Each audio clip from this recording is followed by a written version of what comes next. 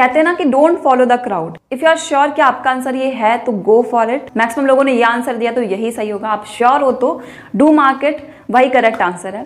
So question number nine जिसको 79 percent लोगों ने गलत किया है the question was tides in ocean is cause due to जो लहरें होती हैं ओशन में, वो क्यों बनती हैं?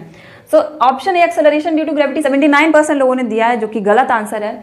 Option B is gravitational force yes gravitational force का एक एप्लीकेशन था टाइट्स इन ओशन एंड मैंने बहुत ज़ोर देके बोला था कि भाई ये इंपॉर्टेंट है।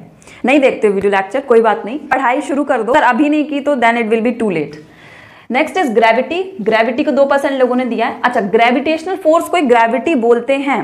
इसीलिए ऑप्शन डी रखा मैंने। बोथ बी एंड सी तो जो 8 परसेंट बच्चे हैं, जिन्होंने 8 परसेंट को मार्क किया दैट इज़ ऑप्शन डी को मार्क किया। कंग्रेचुलेशन आपका आंसर सही है। Option D for the question number nine is the correct